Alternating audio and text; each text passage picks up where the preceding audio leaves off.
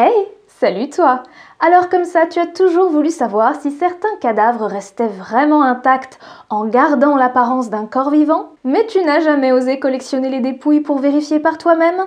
Et tu as bien fait, car les gens t'auraient probablement regardé de travers, puis dénoncé aux autorités sanitaires. Heureusement, Tata Jen est là pour satisfaire ta curiosité grâce à ce format vrai-faux sur la mort, l'info qui tue.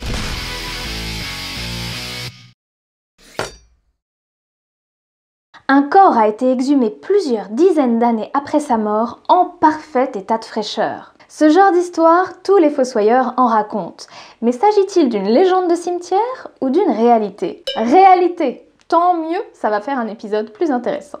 Pour qu'un corps se décompose rapidement, rien de plus simple. Il faut des bactéries et des microbes qui prolifèrent. Mais il arrive que certains sédiments soient chargés d'éléments naturels qui possèdent des propriétés antimicrobiennes et antibactériennes. C'est le cas pour les sédiments qui ont entouré les fameuses momies des tourbières d'Europe du Nord. Pour des raisons très obscures, ces corps ont été jetés dans des marais, principalement entre le 2e siècle avant notre ère et le 4e siècle après notre ère. Dans les tourbières qui abritent ces corps, le sédiment est très chargé en sphagnane. Le sphagnane, c'est une substance présente dans une mousse, le sphagnum.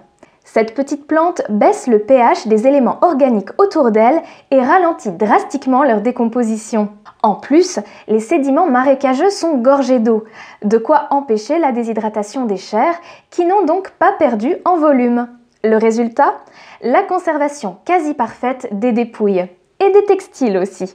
Big up Valentine. Dans nos banales nécropoles d'Europe de l'Ouest, certains sols argileux et humides ont également permis ce genre de préservation miraculeuse. Et le mot miraculeux n'est pas lâché en l'air puisque dans de nombreuses cultures, l'impeccable préservation d'une dépouille est vue comme un signe de sainteté de la personne au point que certains moines japonais de la tradition bouddhique de l'ordre Shugendo forcent un petit peu le destin. Ils s'attellent à détruire leurs propres bactéries intestinales pour que leurs cadavres ne pourrissent pas après leur mort. Et c'est plutôt malin. Si tu tues tes propres bactéries, normalement ton corps ne devrait pas engager de décomposition. Bon, ça implique de s'astreindre à un régime purifiant avant, puis de se laisser mourir de faim.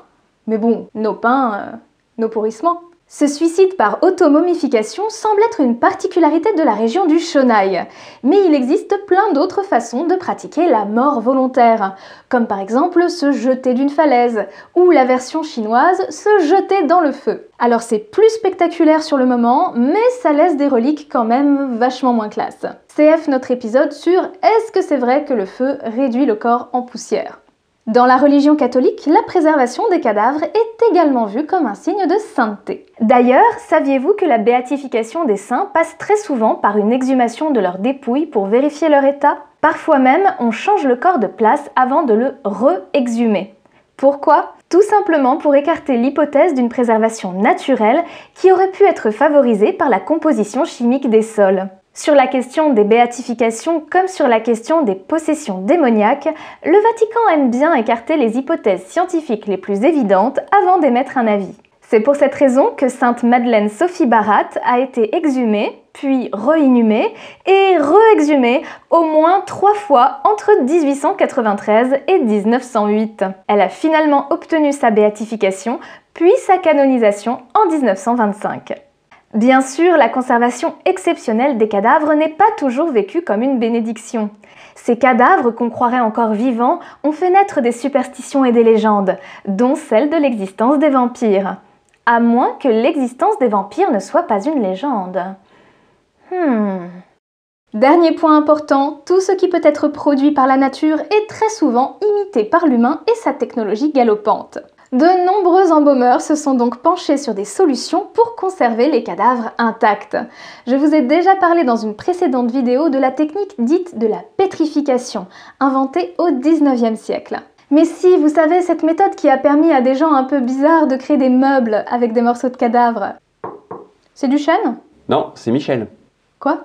Cette technique était sympa, mais elle ne permettait pas de conserver la souplesse du corps pour imiter l'aspect du vivant. Et pourtant, c'est possible. Et à votre avis, qui a réussi cet exploit en premier dans l'histoire de la thanatopraxie? Les Chinois, bien sûr.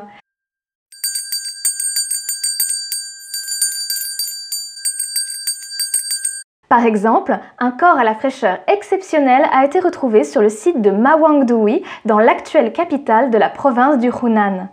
Il s'agit du cadavre de la marquise du Dai, morte au IIe siècle avant notre ère. Sa nécropsie a été menée le 14 décembre 1972 par des médecins légistes médusés qui ont retrouvé ses organes parfaitement conservés non seulement dans leur forme mais aussi dans leur texture. Le secret des Han de l'Ouest un liquide mystérieux à fort taux de cinabre dans lequel les momies Han ont été baignées. Ce liquide était toujours présent à l'ouverture de certains tombeaux. Les chambres funéraires avaient été conçues pour rester parfaitement hermétiques pendant des siècles grâce à un scellement sous des couches de charbon et de kaolin. Voilà, maintenant tu sais tout. Si d'autres questions à propos de la mort t'empêchent de dormir la nuit, n'hésite pas à les laisser dans les commentaires et j'y répondrai dans une prochaine vidéo. A très bientôt pour un nouvel épisode de l'info qui tue et d'ici là, restez vivants